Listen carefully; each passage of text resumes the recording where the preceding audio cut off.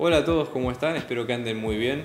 Muchas gracias por ver este video, una nueva entrega de Pablo Borsoy, videos de matemática y de física. Antes que nada les queríamos dar gracias por el apoyo que estamos recibiendo al canal, estamos creciendo mucho y eso nos permite hacer más videos y llegar a más gente.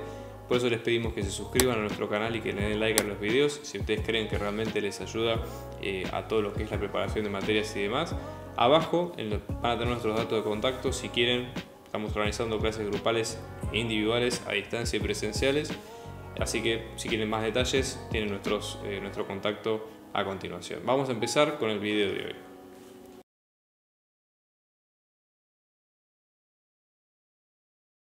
Bien, ¿qué es lo que nos piden en este caso del ejercicio 18? ¿no? Acá la idea va a ser la siguiente. Nosotros vamos a tener una superficie S que va a ser el resultado de una ecuación f de x y, ¿sí? donde nos vamos, vamos a obtener la variable z como resultado, ¿sí? que admite plano tangente de la siguiente ecuación. 3 por x más y más 2z, esto es igual a 6, ¿sí? en el siguiente punto, que es a igual a 2, 1 y z0, que sería la imagen correspondiente a la función en ese punto. ¿no? Entonces, hay que analizar si la recta normal a S, llamémosle L, donde L en este caso es perpendicular a S, en el punto A, intersecta a la superficie de esta ecuación. Entonces, tenemos que ver si existe la intersección entre L, intersección, llamémosle S2, con S2, la superficie de ecuación, y es igual a x al cuadrado. ¿no? Esto sería un poco lo que pregunta el problema. Bueno, ¿cómo hacemos esto? Hay varias maneras de pensarlos de la siguiente manera. Por ejemplo, nosotros por un lado tenemos este plano, que es el plano tangente a la función en el punto, ¿sí? en este punto A. Nosotros podríamos recurrir a reacomodar esta ecuación de forma tal de tratar de entender cuál sería ¿sí? Básicamente la estructura de esa, de función, es decir, las derivas parciales, el z en el punto y demás. ¿Sí? Eso sería como para tratar de entender un poco lo que sucede. Pero en este caso puede ser más sencillo por lo siguiente.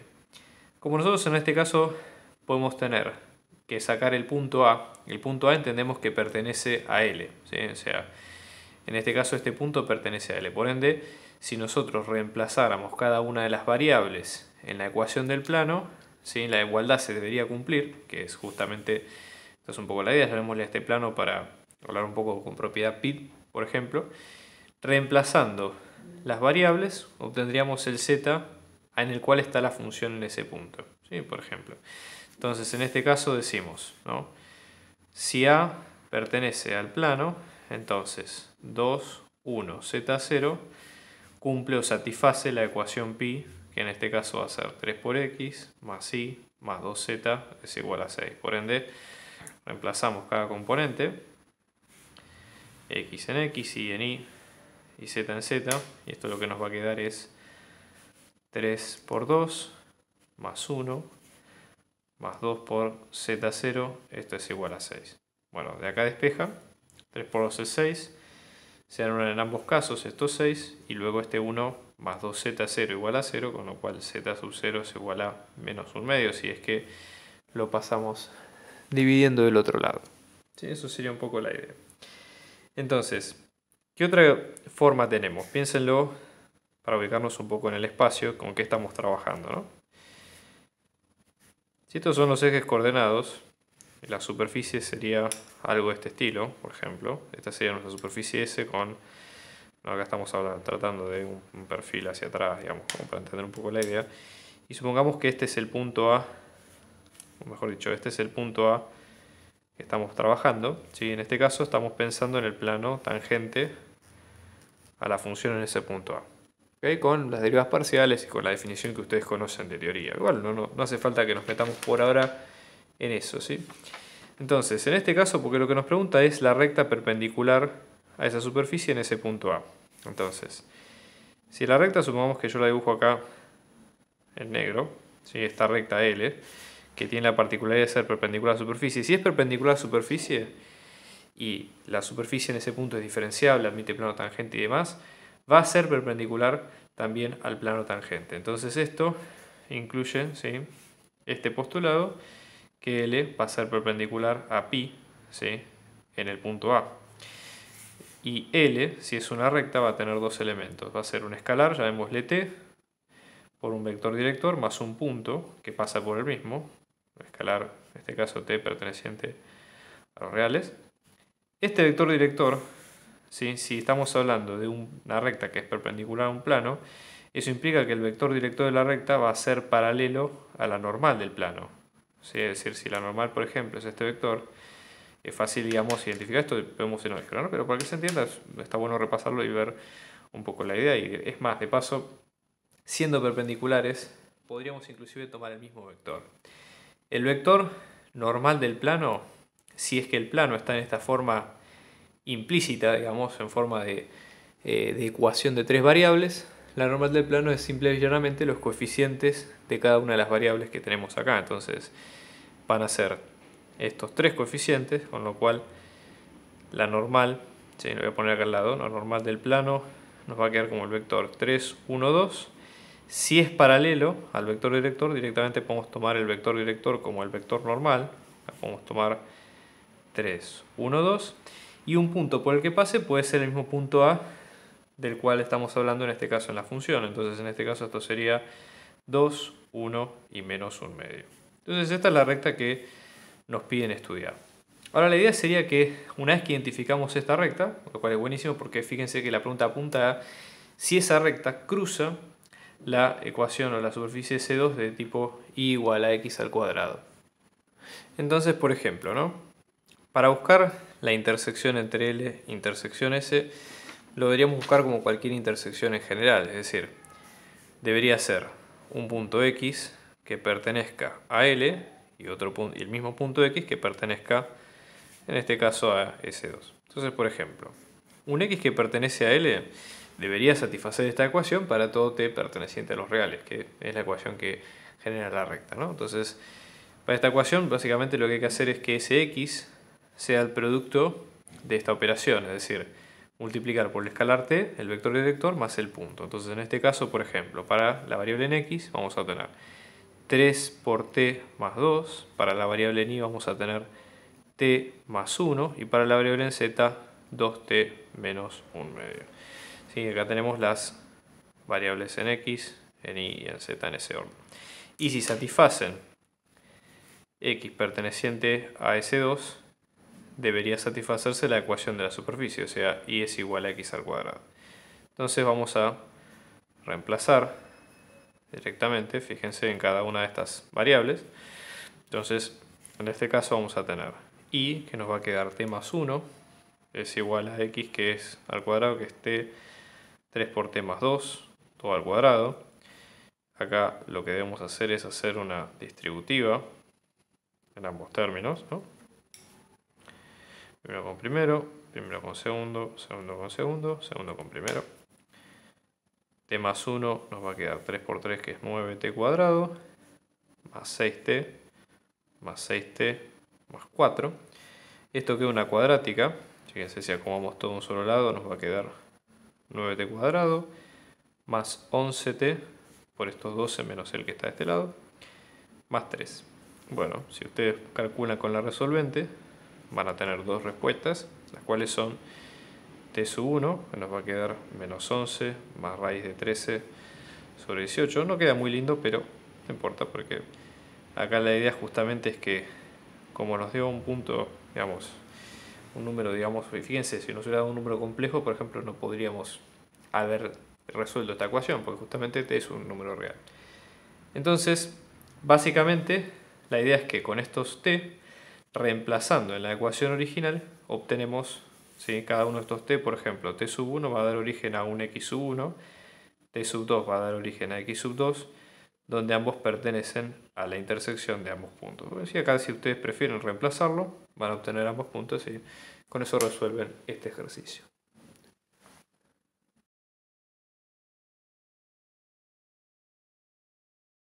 Interesante por lo siguiente, vamos a tener una función lineal, ah, una función lineal digamos en el sentido de una recta en el espacio, vamos a llamarle x, que va a ser como 1 más 2 por u, 3 por u menos 1 y luego 5u. Claramente, si ustedes ven, esta es la misma estructura digamos, de todos los coeficientes en forma lineal que trabajamos en álgebra, por ejemplo.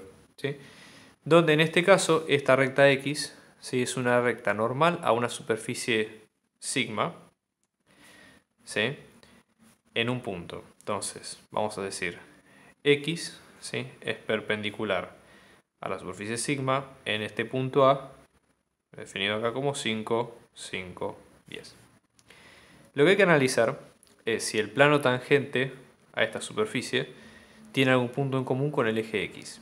Entonces, la idea es decir, pi tangente a la superficie en el punto A, esto es una nomenclatura propia, ¿eh? aclaramos por las dudas porque no hace falta que lo escriban así, más sencillo para nosotros, pero nada, tema de escritura. Entonces, la idea es si tiene punto en eje X. La idea es primero entender qué es el eje X en el espacio, ¿no? como para pensarlo como punto.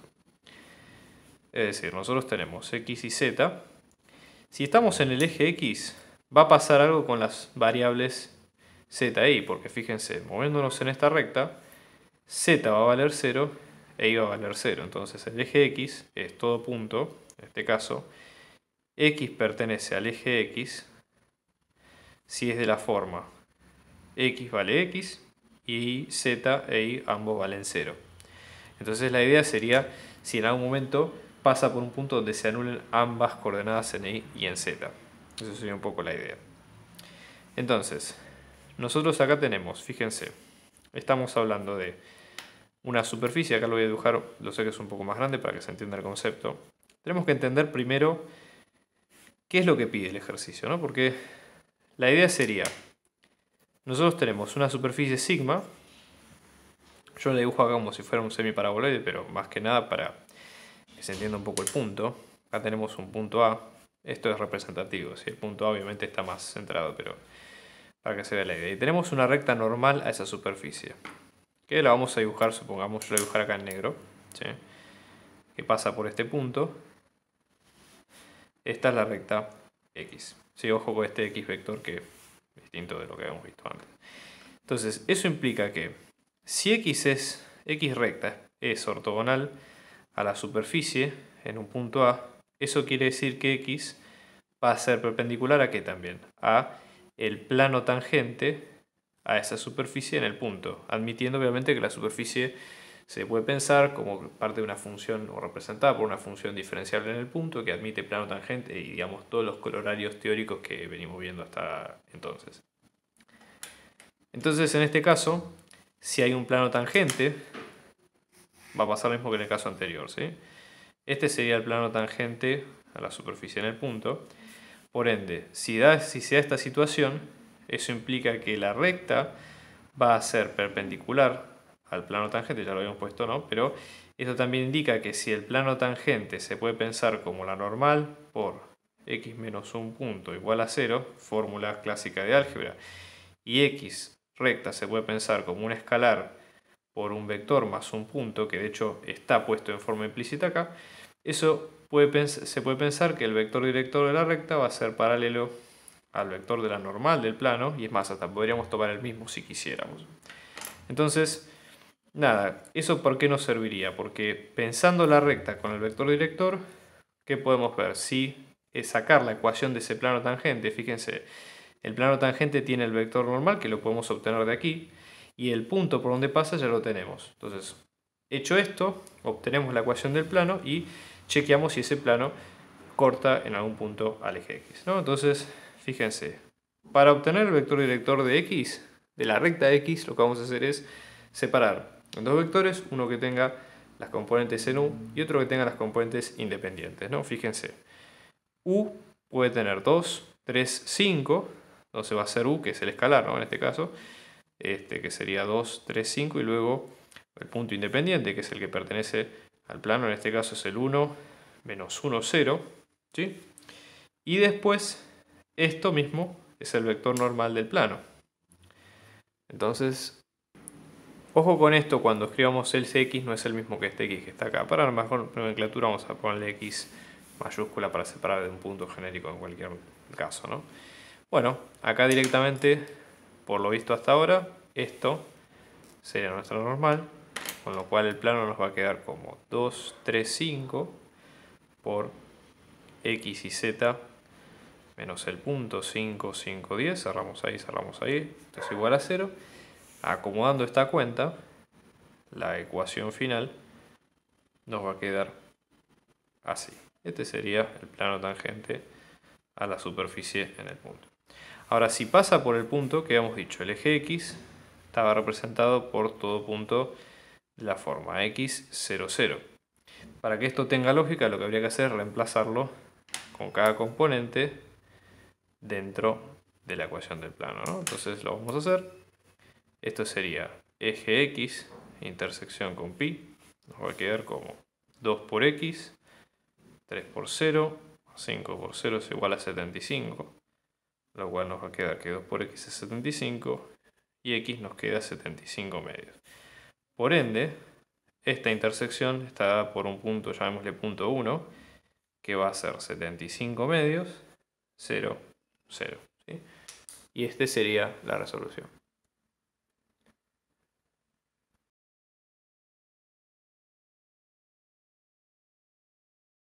Ejercicio 20 se trata de una demostración. Nosotros vamos a tener una función del tipo L que va a ir de R a la N, es decir, de N variables a R. O sea, va a ser una función escalar, donde vamos a tener que N va a ser mayor que 1. Este tipo de transformación la vamos a definir como una transformación lineal, o sea que L es una transformación lineal. Nosotros habíamos visto en álgebra, esto para repasar un poco el contenido, que una transformación lineal era un tipo de función especial donde nosotros ingresamos un vector x y la cuenta básicamente era multiplicar una matriz por ese vector. Entonces, por ejemplo, si el vector era del tipo r a la n, ¿sí? en este caso, esto sería de n por 1, la variable a, si la transformación, por ejemplo, iba a ser de r a la m, a la n, perdón, a r a la m, A iba a ser del estilo m por n, de manera tal de que esto se pudiera completar. ¿sí? Eso sería un poco la idea. Ahora, si nuestra transformación va a r a la 1, a va a ser un vector de 1 por n y x va a ser un vector de n, de n por 1, por lo tanto, en este caso, vamos a tener que esa sería la, dimensión de llegada. Después se habla de lo que es la derivada direccional de la, de la función L en A. Entonces, esto sería la derivada direccional de L en dirección del vector R, ¿sí? En un determinado punto acá R lo está poniendo con este símbolo, ¿no? Eh, básicamente en un determinado punto, en un punto x0, ¿sí?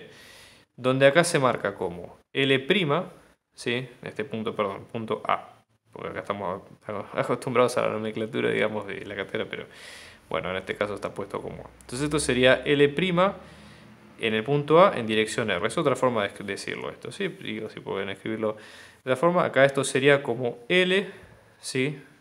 Compuesta con el vector director o el vector, digamos, dirección de esa, de esa punta. Entonces, acá la idea sería demostrar este resultado. O sea, esto no parece obvio en primer lugar. Pero nosotros tendríamos que pensar de la siguiente manera.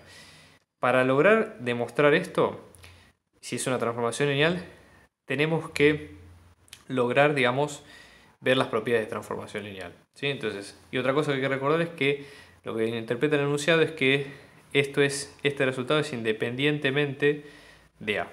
¿sí? Es decir, de qué punto estemos tomando nosotros de cuál sería esa deriva direccional. Entonces, una sugerencia, ¿no?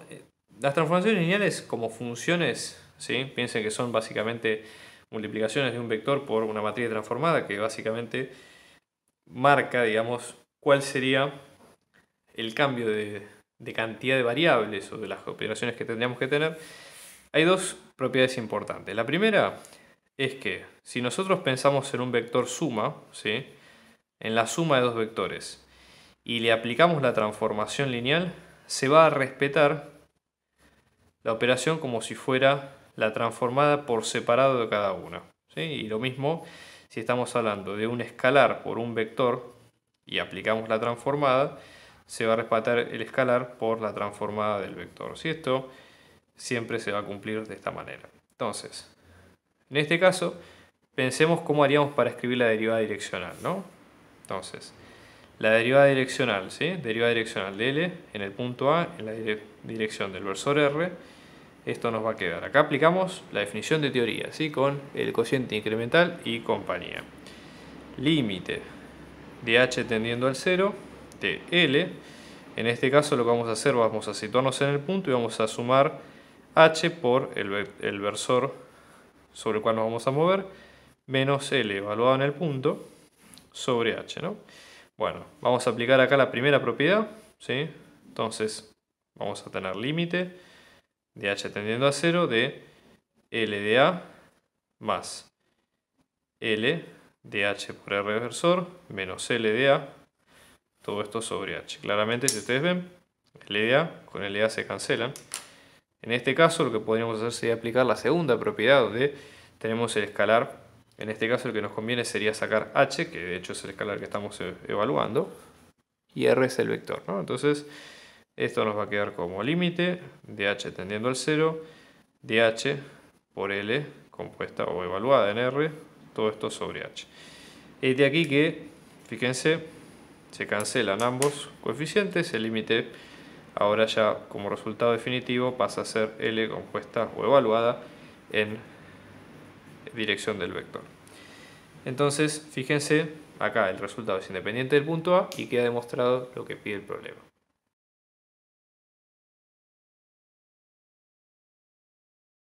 ¿Qué sucede, por ejemplo, en el caso siguiente? Vamos a tener una función que va a ir de R2 a R, que va a ser diferenciable para todo punto, es decir, para todo xy perteneciente a R2, ¿sí? vamos a tener el plano tangente, ¿sí? esto ya les digo, recuerden que es nomenclatura propia, ¿sí? de esta función en un punto x0 que va a ser de la forma 2x menos 4y menos 2z es igual a menos 6 y en cuanto el x0 como punto va a ser 1 menos 1 medio y la imagen de esto, ¿no? Entonces la idea es encontrar primero la imagen del 1 menos 1 medio, cuánto vale, y después cuánto vale el gradiente de la imagen, pero evaluada en ese punto. Bueno, para hacer esto tenemos que recordar, digamos, eh, de dónde sale el plano tangente, ¿sí? o sea, qué ecuación, una vez que demostramos que la función es diferenciable y, demás requisitos, si la función admite plano tangente, ¿cómo lo obtenemos? Bueno, el plano tangente, si lo expresamos tal cual lo dice la teoría, esto estamos hablando de una función ¿sí? que, está, que va a ir de R2 a R, como lo dice el problema, y vamos a estar evaluando en un punto x sub 0, donde vamos a tener x0 y 0, que este es un punto del dominio. ¿sí? y donde la función es de la forma z es igual a f de xy, es decir, es una función donde z es la variable dependiente de las otras dos. En ese caso, el plano tangente va a ser de la forma z, que va, o sea, vamos a pensar el plano como función, entonces en este caso vamos a tener la derivada parcial de f respecto en x evaluada en ese x0 vector, sí, x0 vector, porque tenemos las dos variables del dominio, todo esto multiplicado por x menos x sub 0, y de idéntica forma la derivada parcial de la función en y en el, punto, en el versor, en el punto, perdón, x sub 0 y 0, ahora sí por y menos y sub 0, ¿sí? ojo, no se confundan por favor, x sub 0 vector es todo el vector y x sub 0 y sub 0 son las componentes escalares, y hecho esto, la función ahora sí evaluada en el x sub 0 y 0. Entonces, con esto, sí, la idea es que es, si nosotros tenemos la ecuación pero de otra forma distinta, si acomodamos los elementos ¿sí? y tratamos de, digamos, reescribir esta ecuación de esta forma, podemos ir identificando cada uno de los elementos que nos pide. La imagen de la función y en cuanto a lo que es el gradiente, estamos hablando de, el gradiente es un vector que, como ustedes saben, se compone de las derivadas parciales de la función evaluada en el punto. Entonces ambas las podemos calcular una vez que eh, encontremos, si fíjense, esta sería esta que está acá y después esta otra de esta manera. Entonces, bueno, procedamos. Vamos a tomar la ecuación del plano tangente.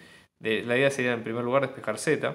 Entonces, por ejemplo, podríamos, digamos, restar ambos lados por x, 2x, sumarle a ambos lados 4y. Eso lo que nos va a quedar es menos 2z es igual a menos 6, menos 2x, más 4y. ¿sí? Luego dividimos ambos lados por menos 2. Eso lo que nos va a quedar es 3 más x menos 2y. Escrito de otra forma, esto nos va a quedar como z es igual a x menos 2y más 3.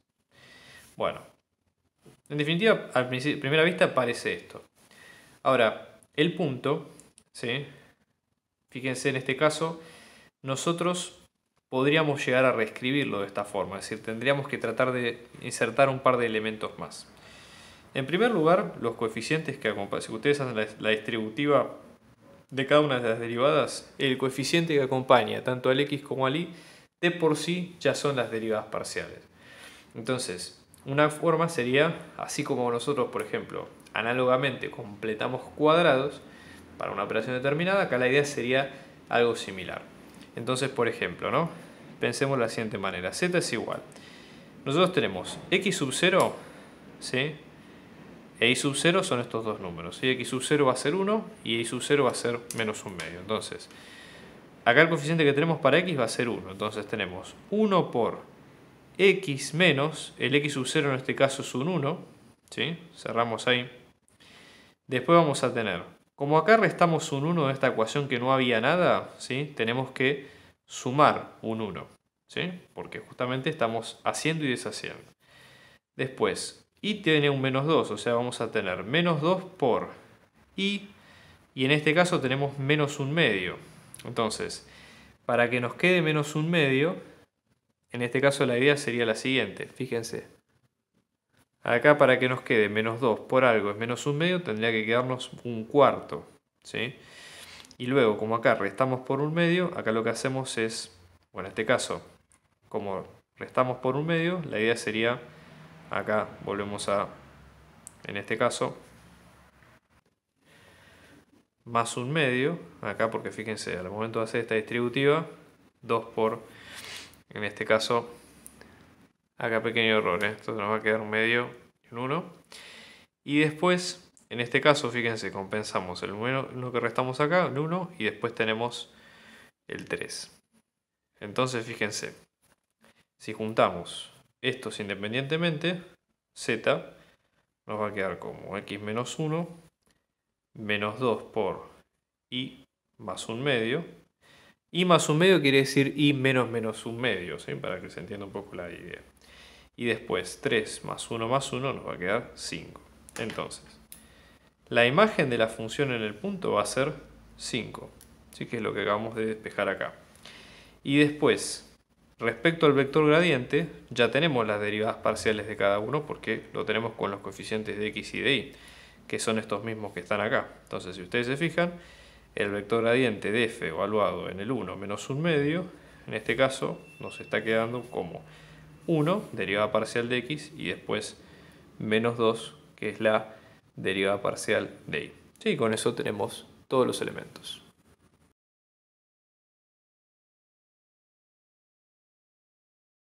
se pide en el siguiente caso? ¿no? Nosotros vamos a tener acá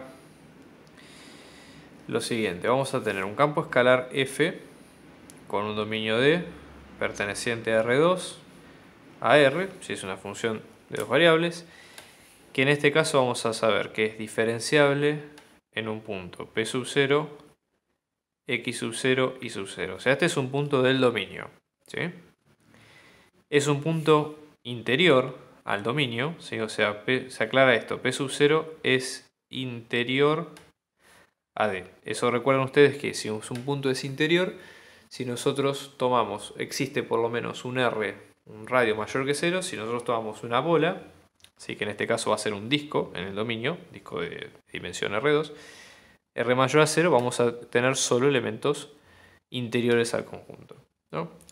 La ecuación vectorial, si acá hablamos de parametrizaciones en la gráfica, se puede pensar como x vectorial, acá lo voy a escribir con x mayúscula para no confundir con un punto x eh, y genérico de la ecuación, ¿no? va a ser de esta forma, es decir, para entender un poco y salir un poquito de la abstracción. Si este es el espacio, ¿no? O sea, nosotros vamos a tener en todo el plano va a estar el dominio, es decir, en este caso P sub 0, por ejemplo, sería este punto que tiene las coordenadas x sub 0 y sub 0, que son las que ustedes ven ahí a continuación. Después nos habla de que, es decir, si x es la parametrización de la superficie, que vendría a ser una cosa así, por ejemplo, acá estaríamos ante el punto q sub 0, que van a ser las dos primeras coordenadas del punto del dominio, incluyendo su imagen. O sea, acá estamos en todo el espacio. Y en este caso, lo que vamos a tener acá es un plano tangente, porque la función es diferenciable, por ende admite plano tangente, ¿sí? donde pi tangente a f en el punto q sub 0, ¿sí? acá estamos hablando del punto con la variable z, ¿sí? va a ser de la forma la normal por un punto genérico x, no es zx, ¿eh? menos un punto, en este caso es el q sub 0. ¿sí? Acá reemplazo por q sub 0 porque es estrictamente el punto por donde pasa la función. ¿sí? Podría ser este, podría ser otro del mismo plano, pero para que sea más simple. Entonces, la idea es que la normal, acá lo pone el, el enunciado problema como n sub 0, ¿no? va a ser menos la derivada parcial de f respecto de x en p sub 0. Fíjense que esto es el, estamos hablando del vector del dominio, menos la derivada parcial de i en p sub 0 y luego 1. ¿Sí? O sea, acá está tomando 1 como una dirección, digamos, eh, eh, alternativa, digamos, de lo que es de z. ¿Sí? Entonces, en este caso, este vector tiene que ser normal a la gráfica en ese punto. Entonces, acá tenemos tres casos, tres funciones distintas, vamos a estudiar las tres. La idea sería, en primer lugar, justificar que la función es diferenciable sin recurrir a la definición, es decir, de una forma un poco más con atajos, y después representar el gráfico, el plano tangente y el vector. ¿sí? Entonces, en este caso lo que habría que hacer para hacerlo bien sería dibujarlo. Así que dentro de todas las, superficies no son muy difíciles, así que vamos a hacer, aunque sea un boceto, para que ustedes vean el procedimiento. Y en el primer caso, estamos hablando de esta función f de x, y, donde, si ustedes observan, es una función donde todas las componentes son lineales, por ende estamos ante la presencia de un plano. ¿sí? Como primera recomendación, hay que definir el dominio de la función. Fíjense que esta función va de todo R2 a R porque es un plano, no tiene restricciones, por ende todo punto es un punto interior al dominio, si el punto del dominio es un punto interior, ¿sí? es un dominio abierto y por ende la función admite eh, aparte en este caso en particular, admite derivadas de clase C1 porque fíjense que si derivamos nos quedan funciones constantes, son funciones continuas, por ende la función es diferenciable. Eso sería un poco la primera parte. Y después la idea, ¿sí? para sacar, ya lo mismo lo dice el vector, ¿sí? para sacar el vector normal directamente lo que hay que hacer es hacer las derivadas parciales evaluadas en el punto. Acá como es un plano, las derivas parciales son constantes, entonces por ejemplo la derivada parcial respecto a x nos queda 2, Acá ponemos un menos 2 en orden de esto. La deriva parcial respecto a y nos queda un 3. ¿sí? O sea que menos 3 menos menos 3 nos queda 3. Y luego el 1. O sea, este sería el vector normal en este caso. Y lo que habría que hacer para dibujarlo, ¿sí? básicamente acá lo que tenemos que hacer serían las trazas del plano. Pueden dibujarlo a, gusto, el piacere.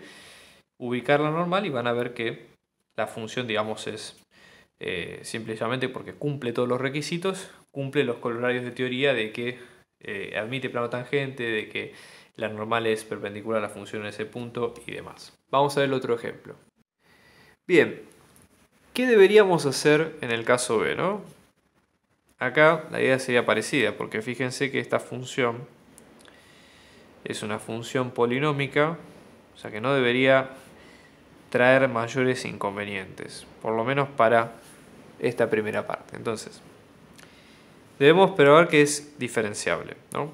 Primero, antes, que antes para empezar, chequemos si podemos hacer algo acá. Fíjense que esto se puede, con esto se puede completar cuadrados, porque digamos, tendría forma, esto de hecho es un paraboloide, pero tendría una forma un poquito más amable a la vista, ¿no? Entonces, x al cuadrado menos 2x, para que sea una diferencia, o para que sea completar cuadrados, debemos sumar un 1, luego restarlo, manera de no alterar el resultado de la ecuación.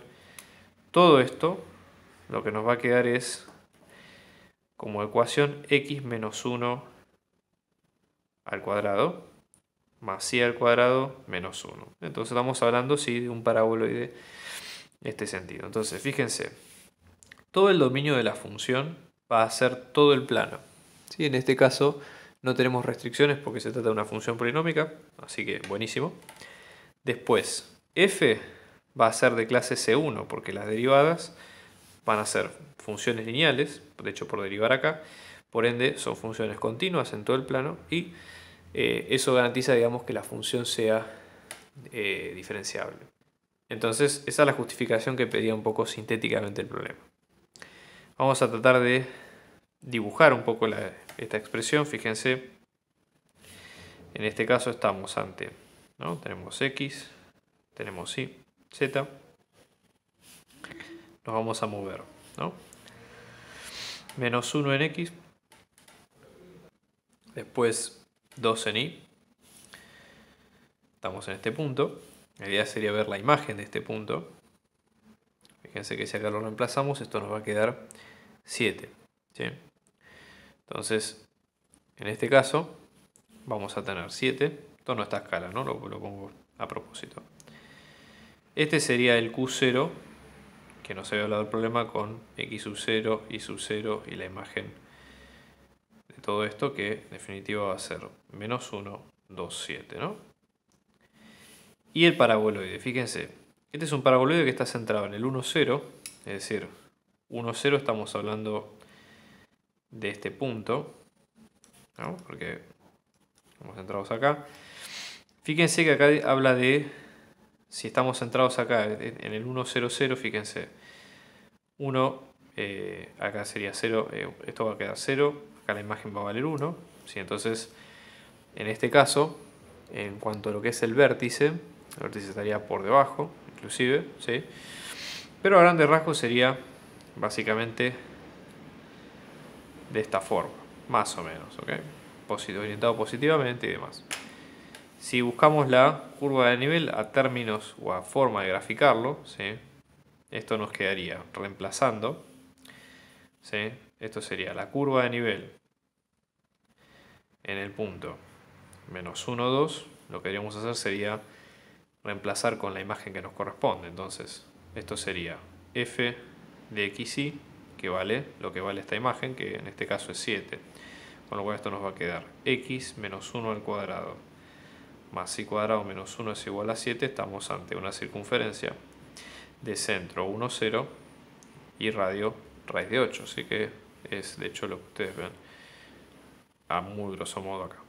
Bueno, y después hay que sacar el vector tangente. Así que el vector tangente sale de, piensen ustedes que la consigna lo define como menos la derivada parcial en el punto respecto de x, menos la derivada parcial en y en el punto respecto de y, y luego 1.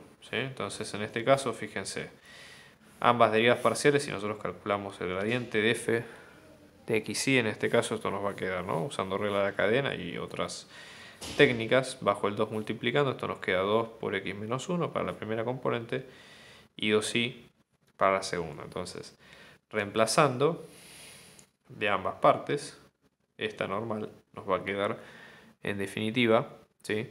como menos 4 4 menos 1. Y ya con eso podemos armar la ecuación del plano tangente. El plano tangente vendría por acá.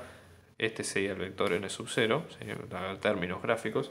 Yo les diría que para esto usen el graficador de Applet, que está de hecho en el software en web. Es mucho mejor, digamos, de lo que uno podría llegar a hacer dibujando, ¿no?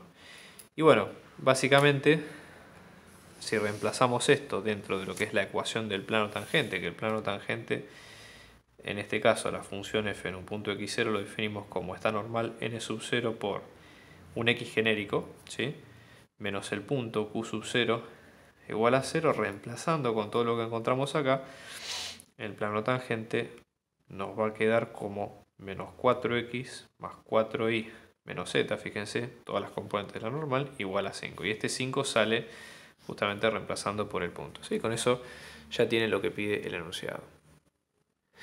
Bueno, en el caso C, la idea sería similar, ¿no? Primero definamos el dominio de la función.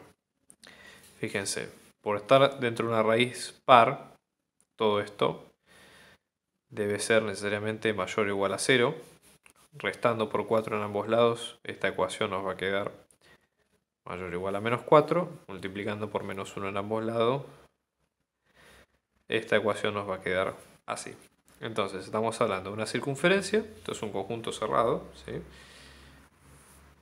Pero no importa porque, de hecho, el punto, fíjense, esto se trata de una circunferencia, de centro 0, 0, fíjense, los x sub 0 y los y sub 0 que están en el, digamos, dentro de la circunferencia no eh, son 0, así que no hay demasiado que, que ver ahí. Después todos los puntos internos. Y el punto de cuestión como de hecho lo pide la consigna, es un punto interno. ¿sí? No hay ningún tipo de problema. Bueno, entonces ya sabemos, la función, este punto es un punto interior. En este dominio hay que ver si la función admite derivadas parciales. Vamos a calcular las derivadas parciales de la función f sub x. Antes que nada, para escribirlo de una forma un poquito más amable, esto podríamos pensarlo, puede ser una pavada de diseño, ¿no? pero como si estuviera la un medio. Entonces, al pensarlo de esta forma, fíjense, aplicando regla de la cadena queda un medio por 4 menos x al cuadrado menos y cuadrado, toda la menos un medio, todo esto por menos 2x. Entonces, esto se nos va, esto nos va a quedar menos x, todo esto sobre raíz de 4 menos. Acá podríamos inclusive sacar factor común y poner x al cuadrado más y cuadrado para que sea un poco más, digamos, este, amable, ¿no? Digamos. Fíjense que el dominio de esta función, como acá no admite que esto, obviamente no admite que esto sea mayor, eh, que esto, que lo que está dentro de la raíz sea eh, menor o igual a cero, con lo cual tenemos toda la circunferencia excepto la frontera. ¿Sí? O sea, en este caso, el dominio de f sub x va a ser x al cuadrado más c al cuadrado menor estricto que 4. ¿sí? Porque justamente si fuera igual, estaríamos ante el caso de división por cero. Y en el caso de la derivada respecto a y, haciendo todo el mismo procedimiento, nos va a quedar la misma forma. Menos y sobre 4 menos x al cuadrado más y cuadrado, raíz cuadrada. Y de vuelta al dominio. Entonces, ¿qué pasa? En este caso, en ambos casos, la función para este punto en particular es de clase C1, por ende es diferenciable, ¿sí? porque el dominio de las derivadas pertenece al punto. Ahora bien, con esto podemos sacar todos los elementos que nos piden de, la, función. Fíjense, ¿no? En este caso deberíamos graficar un poco para entender de qué estamos hablando, ¿no? Entonces, fíjense, para hacerlo un poco más amable, z en este caso nos va a quedar raíz de 4 menos x al cuadrado más y al cuadrado. Esto tiene todo el aspecto de tratarse de un cono o de semicono, porque generalmente los conos o semiconos en general eh, tienen esta forma, digamos, de, digamos, de tener raíz cuadrada de x. Por ejemplo, si pensáramos en las trazas eh, y demás, ¿no? tendría esta forma. ¿no? Bueno, no, es, tan importante, pero eh, sí, lo, sí puede serlo en cuanto a lo que veamos de la función. ¿no? Entonces, fíjense, podemos, puede ser que esté equivocado también, ¿no? Vamos a ver cómo, cómo queda esto. Si sumamos x e y a ambos lados, estamos hablando de x al cuadrado más y al cuadrado más z al cuadrado es igual a 4. Bueno, no, realmente no era un cono, era una esfera. Igual no es una esfera completa, porque fíjense que eso salió de una raíz. Entonces, bueno, ¿cuál es la idea? Si es una semiesfera, sería el casquete superior de una esfera centrada en el cero. Está centrada acá la esfera de radio 2. Entonces, si este es el radio 2, ¿sí? la esfera vendría, o sea, estas serían como la traza con el dominio, ¿no? lo estoy buscando en línea puntera, o sea, obviamente el dominio pertenece también a toda esta parte, ¿no? Pero para que no, no sea un dibujo demasiado este, feo, digamos, ¿no? Entonces esto serían como las líneas de la esfera, para que se vea como un racimo, digamos, de meridianos, ¿no? Bueno, entonces, en este caso, el punto en cuestión, que en este caso nos, eh, el punto en cuestión había quedado como el 1 menos 1. Entonces íbamos a tratar de estar acá, en 1 menos 1. ¿sí? Es decir, vamos a estar para x y para y. En este caso tenemos 1 para este lado, menos 1 para este lado, o sea, Este sería el punto en cuestión, el P sub 0. Acá arriba vamos a tener el Q sub 0, que incluye también la imagen. ¿sí? Fíjense que en este caso la imagen del 1 menos 1, en este caso esto nos está quedando 4 menos 1 menos 1, o sea estamos hablando de 4 menos 2, estamos hablando de raíz de 2, ¿sí? entonces este punto va a ser 1 menos 1 raíz de 2. Y después, gradiente de f evaluado en 1 menos 1, de las derivadas que ya sacamos en la página anterior, esto nos va a quedar evaluadas en ese punto, menos 1 sobre raíz de 2, 1 sobre raíz de 2.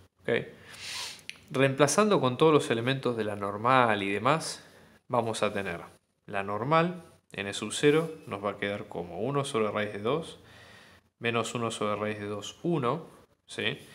El plano tangente ¿sí? a la función en este punto, en este punto q sub 0 nos va a quedar como 1 sobre raíz de 2 menos 1 sobre raíz de 2, 1 por x y z menos en este caso 1 menos 1 raíz de 2. Si ustedes acomodan toda esta ecuación van a llegar a esta expresión 1 sobre raíz de 2x más 1 sobre raíz de 2 por y menos z es igual a menos 2 raíz de 2. Y si quisieran sacar otro elemento que también pide el problema, la recta, esto sería el plano tangente pi. La recta ortogonal ¿sí? a ese plano tangente L, recuerden lo que habíamos dicho antes, L va a ser perpendicular al plano, por ende L podemos tomar como que es un escalar por un vector director más un punto. Este punto puede ser el Q sub 0 y este vector puede ser la normal del plano, por ende, no, hay T es un escalar, ¿no? Entonces, esto va a ser T por el 1 sobre raíz de 2 menos 1 sobre raíz de 2, 1, más el punto, que en este caso es el 1 menos 1 raíz de 2. Y ya con eso tienen todos los elementos. Estamos organizando clases particulares, individuales y grupales para apoyo a las materias parciales y finales, así que abajo dejamos nuestro dato de contacto para si ustedes quieren contactarse y seguir averiguando de las clases lo pueden hacer. Un abrazo grande y muchos éxitos.